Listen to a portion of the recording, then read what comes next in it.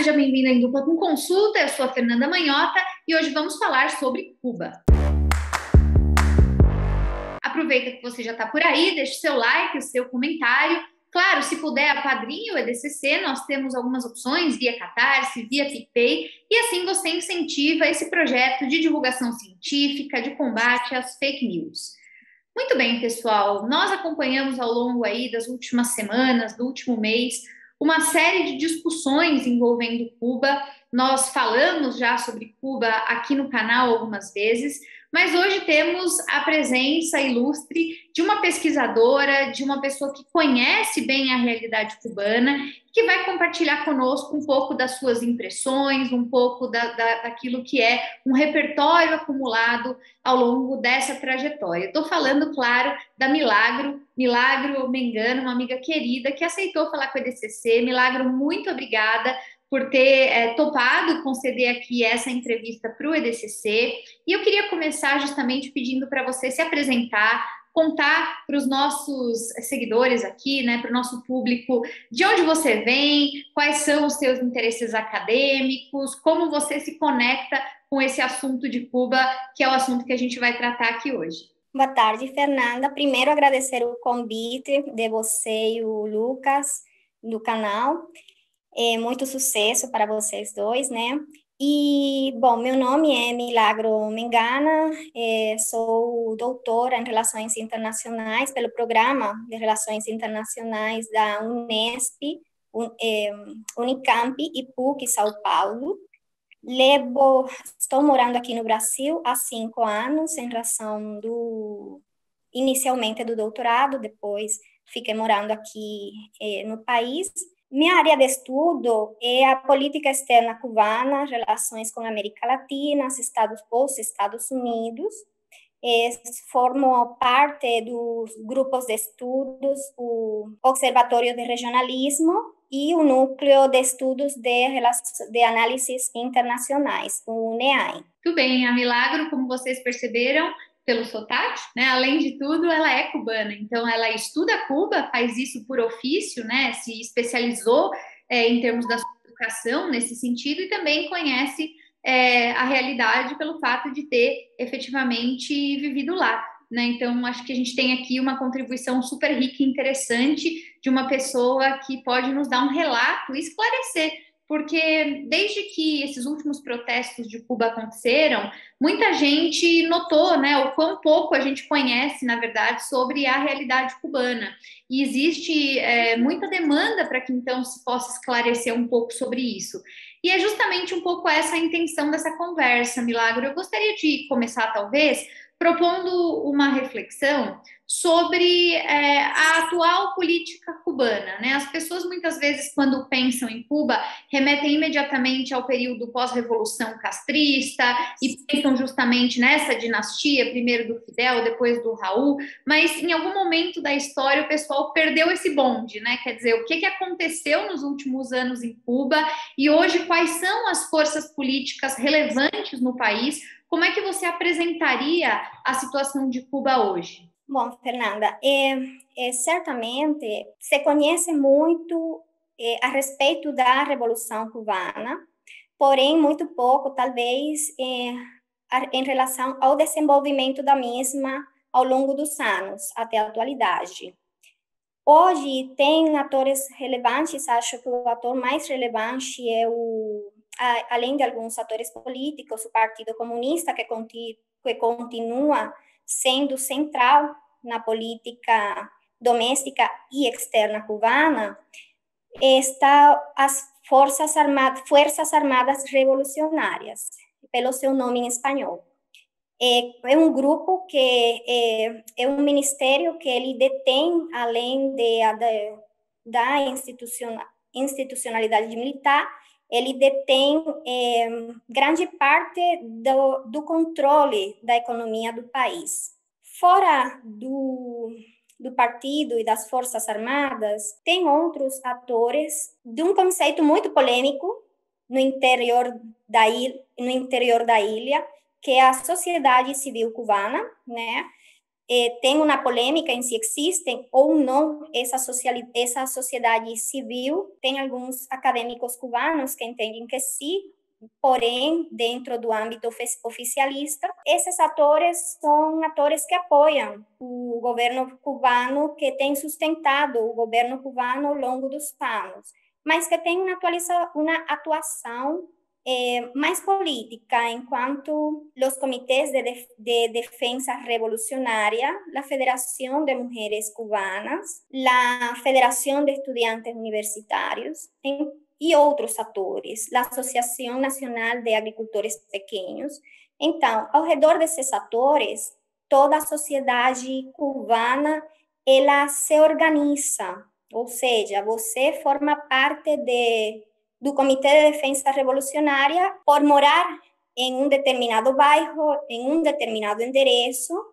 Então, você começa a se organizar a partir dessa estrutura básica da sociedade cubana. E esses atores hoje, claro, tem alguns outros, porém de menor importância, hoje dentro de Cuba, acho que vou falar um pouco disso mais na frente, nessa conversa, Fernanda. É, outros atores de menor importância que são é, aqueles de oposição política dentro do país, tá bom?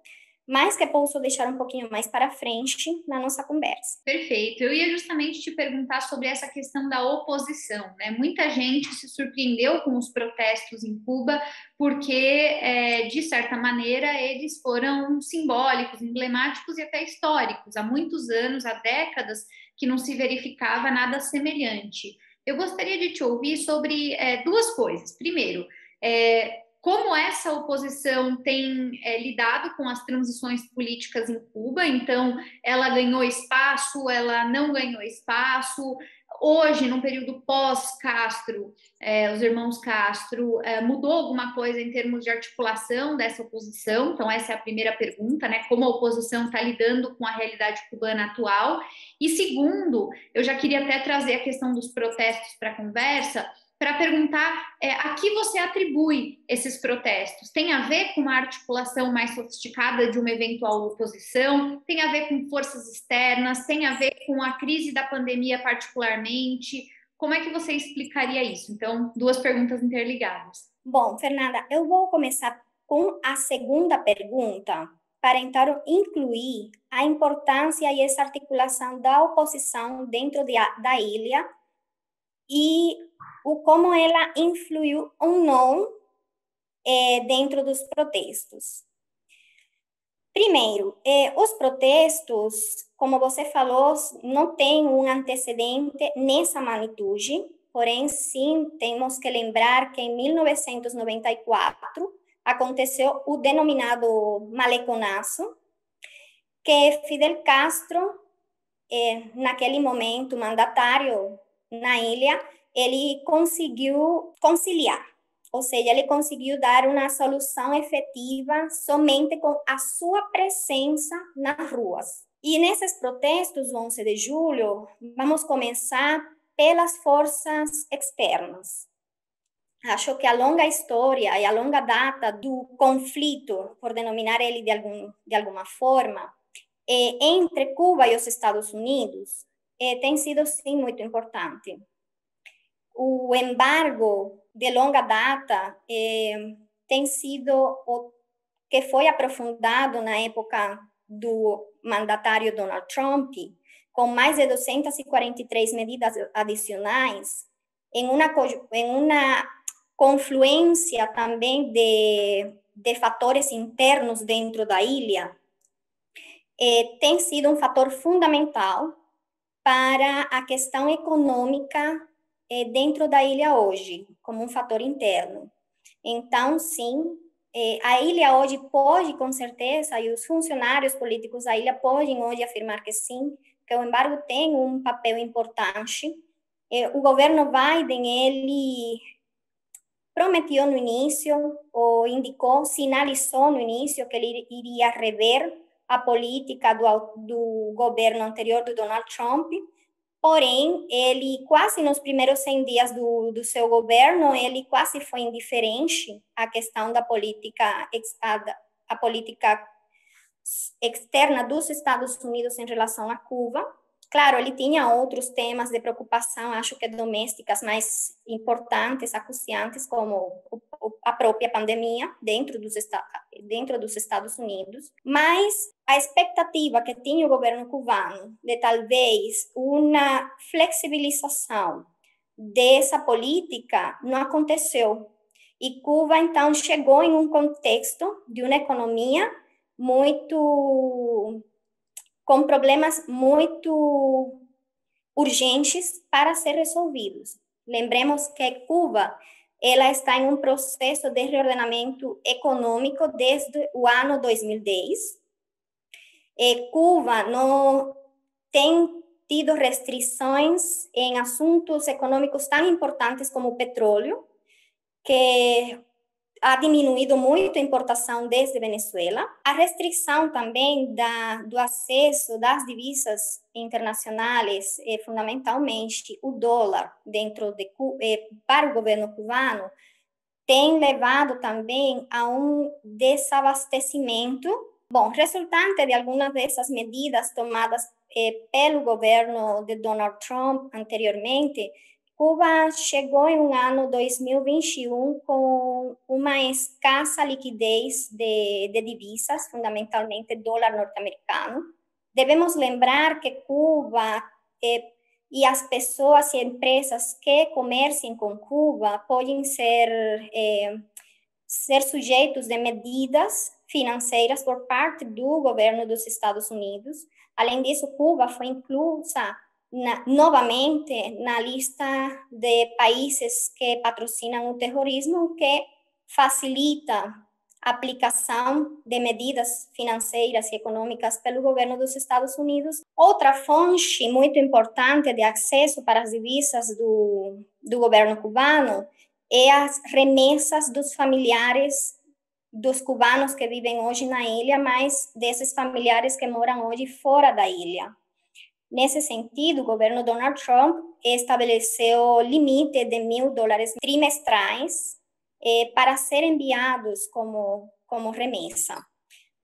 Eh, outra fonte também que limitou muito foi a, a retirada de algumas missões médicas cubanas. E outra questão de limitação do acesso das divisas tem sido a retirada de algumas missões médicas de Cuba em, em alguns países, fundamentalmente em América Latina, devido primeiro à retomada de alguns governos de direita na região, do incremento das denúncias internacionais contra o governo cubano pelo tratamento contra os galenos durante o cumprimento deles dessas missões. Esses dois fatores, fatores anteriores, eh, da redução das remessas e a retirada do, das missões médicas, têm influído também nas dívidas externas que Cuba tem, a necessidade de renegociação dessa dívida, os altos juros que tem que hoje eh, tem Cuba que pagar por incumprimento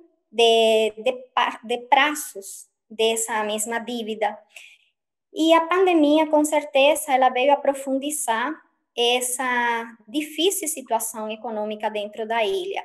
Uma ilha que, como já falei, tem restrições ao acesso ao petróleo, tanto que no ano 2019, Cuba teve que operar desde outubro a dezembro com 50% do suministro de petróleo.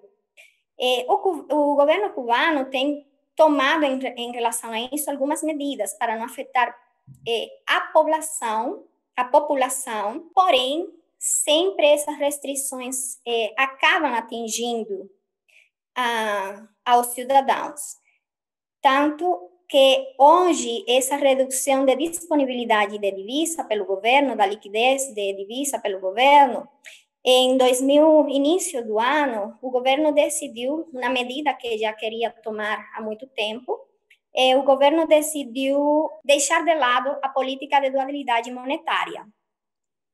Porém, ante o desabastecimento também de produtos da cesta básica, asseio, comida, o governo não conseguiu abastecer as lojas em moeda nacional, o peso cubano, o peso de circulação. em Cuba. O, o peso cubano, que o salário é a moeda que se percebe como salário do cidadão cubano. E as lojas que hoje têm o maior suministro de insumos são as lojas onde o cubano tem que comprar com moeda é, com outras divisas, fundamentalmente ou inicialmente o dólar norte-americano. Mas na metade do ano o governo teve que suspender esse pagamento em dólares norte-americanos e começou a usar outras moedas. Mas aí tem uma grande diferença em que existe uma redução da capacidade aquisitiva do salário do cubano em produtos, primeiro, que estão muito inflacionados, por conta de que o cubano tem que trocar o peso por outra moeda, que ele não percebe como renda, e por causa desse desabastecimento. E a pandemia, ela conseguiu ser controlada no início. O governo cubano teve um ano de controle, porém, a gente tem que refletir sobre aquela, aquele dilema que enfrentaram todos os países de abertura eh, ou de como manter a sua economia funcionando para não provocar eh, limitações econômicas ou consequências eh, futuras econômicas, né?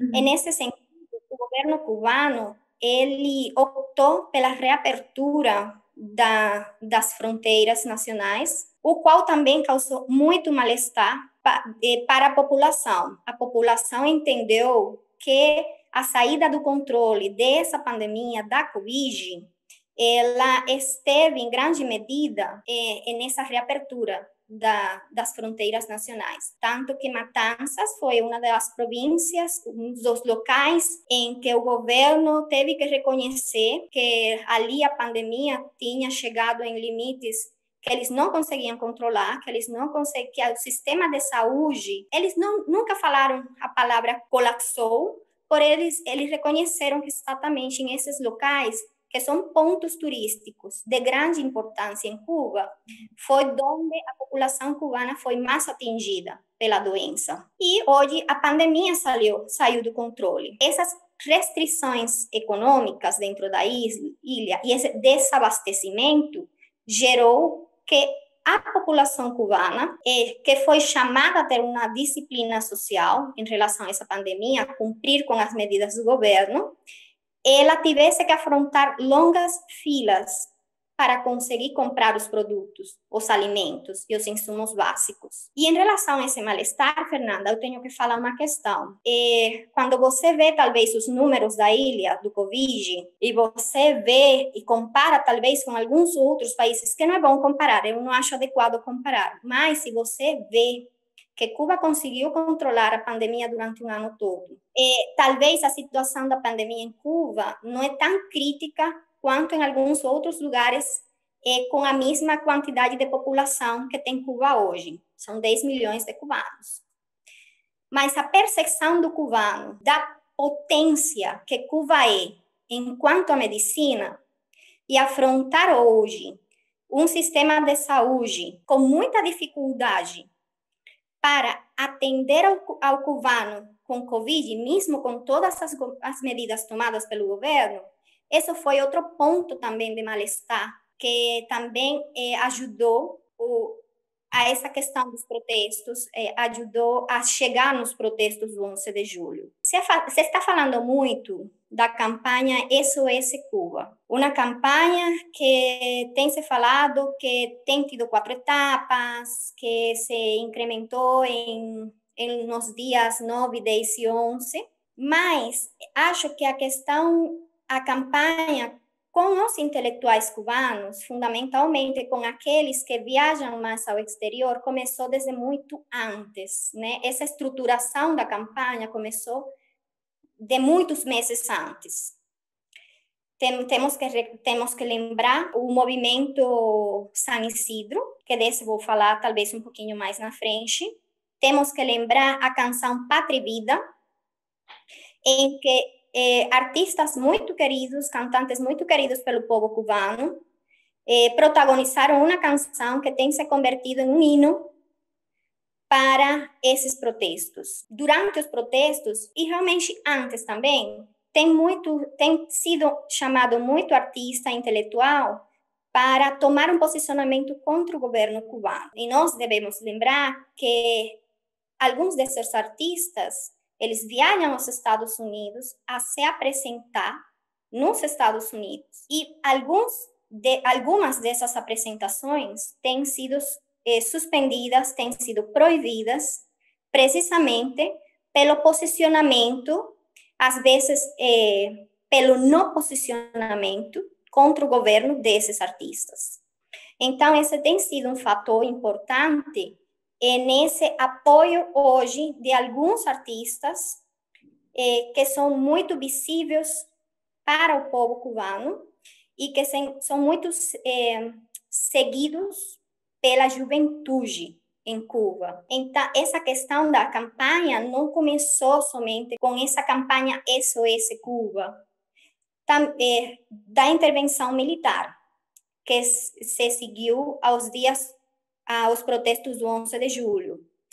Também teve esse antecedente da campanha de intervenção, o de corredor humanitário hacia Cuba, precisamente pelas dificuldades do governo cubano em obter insumos para conseguir eh, dar um tratamento adequado dentro dos hospitais às pessoas eh, com, com Covid-19. Então, outra questão desses protestos, e aí eu acho que eu vou chegar no ponto de, da oposição que você falou, é que muito se ha discutido em relação à questão dessa, eh, dessa campanha que existe verdadeiramente e da espontaneidade ou não dos protestos em Cuba.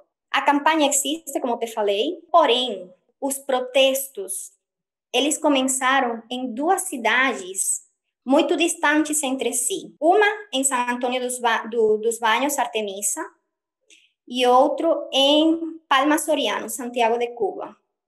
Quem conhece a história de Cuba e quem sabe qual é o posicionamento dos cidadãos naquela província de Santiago de Cuba, sabe que esse é o berço histórico da Revolução Cubana. Que uma cidade em essa província eh, tivesse um protesto é muito significativo, sim, hoje em Cuba, para você entender se realmente, para entender realmente o que está acontecendo dentro da ilha.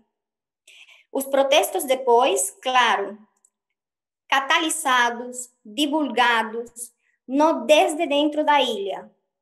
Quando você assistia, se você, se as pessoas revêem o que aconteceu nas mídias sociais do 11 de julho, você vê todo o apoio dos influencers e youtubers, apoio não, divulgação ao que estava acontecendo dentro da ilha. E claro, as notícias estavam vindo dentro da ilha pelas lives em Facebook, pelas transmissões em vivos dentro do Facebook, por parte daqueles cubanos que estavam participando ali. Depois foi ampliando o número de protestos ao longo da ilha e no número de pessoas. Os protestos, eles se ampliaram de forma espontânea. As pessoas se sumaram, claro, estava sendo transmitido sim, mas as pessoas se sumaram. E eu acho que um ponto de, dessa questão de espontaneidade é que a oposição política dentro de Cuba tem organizado protestos anteriormente. Tem, não protestos, passeatas anteriormente. E elas têm sido divulgadas no momento, em horário real, dentro das mídias sociais. E nenhum deles teve a repercussão que teve agora. Eles, essas passeatas da, da oposição em Cuba, eles sempre foram interruptas pelas forças do governo. E nenhum e cubano nenhum se sumou a essas passeatas. Todos que ficavam como espectadores. Você consegue ver isso no, no YouTube também. Porém, esse protesto do 11 de julho não. Malestar do Covid, a situação econômica, a inconformidade dos cubanos a algumas políticas do governo dentro de Cuba.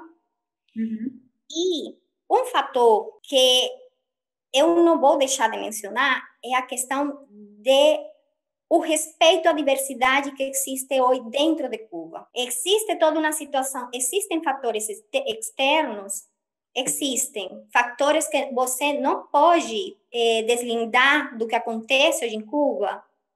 Nenhum analista político faria isso. Existe um embargo? Existe. Existe uma situação na que Cuba tem que tem tido um, um, uma resistência durante mais de 60 anos frente ao governo dos Estados Unidos? Existe. Mas ao longo desse processo, eh, o governo cubano não, não dialogou com a diversidade ideológica que tem hoje dentro da ilha. Fantástico, essa é uma visão muito interessante e que eu acho que permite que as pessoas que estão aqui nos acompanhando tenham uma dimensão do que de fato está se passando lá, né? E eu queria, Milagro, aproveitar que você citou as, uh, os fatores externos, né, para terminar a nossa conversa, é, que você falasse um pouquinho sobre essa geopolítica. Quer dizer, você mencionou muito bem a questão com os Estados Unidos, o embargo e todas as influências né, que vão acontecendo ao longo do tempo, mas a gente sabe que existem outros atores importantes do ponto de vista regional e extra-regional. Você falou um pouco sobre a Venezuela em algum momento, a gente sabe que existe uma relevância em relação à China, à Rússia, e não necessariamente em relação a esses protestos específicos, mas do ponto de vista da organização política é, do país como um todo. Né? Então, eu gostaria de te ouvir, uma vez que a gente fez esse voo panorâmico sobre as questões domésticas, agora um pouco sobre essas relações estratégicas para Cuba. Bom, Fernanda, é, não cabe dúvidas, desde 1959, que Cuba é um ator refer de referência para os movimentos de, de esquerda, em, de esquerda em América Latina. Então, a continuidade do sistema político hoje em Cuba é, é, um dos pontos que são muito defendidos por alguns desses movimentos em América Latina, além da importância que tem, que tem Cuba para outros atores como Rússia e China na região, de forma é, para contrastar essa atuação dos Estados Unidos, é, precisamente em América Latina. Acho que Cuba hoje continua a ser de importância. A gente está em uma região que ela está entre a esquerda e a direita, depois que a gente saiu daquela denominada onda rosa, uma região que hoje está transitando entre um governo de um corte político ou ideológico de um ou do outro, e Rússia e China, a presença de Rússia e China é, contrarresta né, a atuação dos Estados Unidos ou as políticas dos Estados Unidos na região. E, repito, Cuba tem um papel fundamental e a continuidade do sistema político em Cuba tem um papel fundamental nessa geopolítica dos grandes atores internacionais. Excelente, olha, foi uma verdadeira aula que a Milagro nos deu aqui, explicou todos os contextos, as forças, né, os feixes de força que culminaram nos protestos, e com isso deixou claro que Cuba está em um movimento político que merece ser acompanhado, que não termina com os protestos então, eu queria agradecer muito a Milagro por ter aceitado participar com a gente, dar esse relato, esse depoimento, baseado também no que ela estuda e no que ela conhece. Dizer que, Milagro, você é muito bem-vinda, espero que volte outras vezes para continuar falando sobre esse assunto conosco e vou te deixar à vontade para umas palavras de encerramento. Reitero, muito obrigada pelo convite a vocês e é, eu queria, assim, a respeito dos intelectuais hoje em Cuba, tem um escritor muito reconhecido é, lá que ele falou a respeito dos protestos. É o Leonardo Padura, um, um escritor que tem visitado muito o Brasil, um escritor que tem representado culturalmente a Cuba e um escritor que, a respeito do, dos acontecimentos do 11 de julho, ele tem sido, é, tem também um posicionamento de, de análise objetivo do que aconteceu na sociedade cubana, estabelecendo também todos esses fatores externos e internos dentro da ilha. E tem um que eu queria, como eu sei que, que o, o canal ele traz questões de filmografia, de cultura, eu queria colocar dele em seu escrito El Grito a respeito desse análise dos protestos do 11 de julho, é algo que ele falou, que é muito importante para entender é, esses protestos. Primeiro, ele, ele reconhece realmente que sim, teve algumas, algumas pessoas, algumas é, atuações que poderiam ser configuradas como criminosas, porém, ele fala muito certeiramente, embora eu me recuse a acreditar que no meu país, a essa altura, possa haver tanta gente, tantas pessoas nascidas e educadas entre nós que, que se benzem ou cometam crimes. Porque se assim fosse, isso seria fruto da sociedade que os fomentou. Então, o reconhecimento dos fatores externos, essa realidade que Cuba vive desde fora das suas fronteiras e que repercutem muito na vida de um povo eh, que sofre desde o ponto de vista econômico e financeiro, não deve também eh, eliminar ou não deve silenciar alguns fatores domésticos que devem ser sim analisados a despeito, a despeito desses atores externos que influencia muito hoje a política cubana. Excelente, muito bom, Milagre, obrigada pela sua presença. Para você que nos, que nos acompanhou, nos assistiu, não deixe de se inscrever no canal se não está inscrito, ative o sininho das notificações. Se você quiser que a Milagro volte ou responda outras perguntas sobre Cuba, deixa aí a sua questão usando a hashtag EDCCResponde. Vai ser um prazer acompanhar as dúvidas de vocês, esclarecê-las quando possível a gente se vê na próxima, pessoal. Muito obrigada. Até lá. Tchau, tchau.